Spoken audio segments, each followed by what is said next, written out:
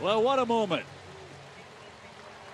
Joey Terdoslavich makes his major league debut pinch hitting in a tie game.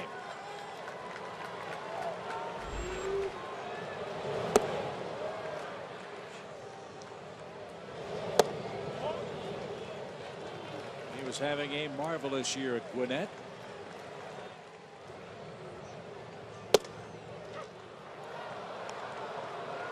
Two and two.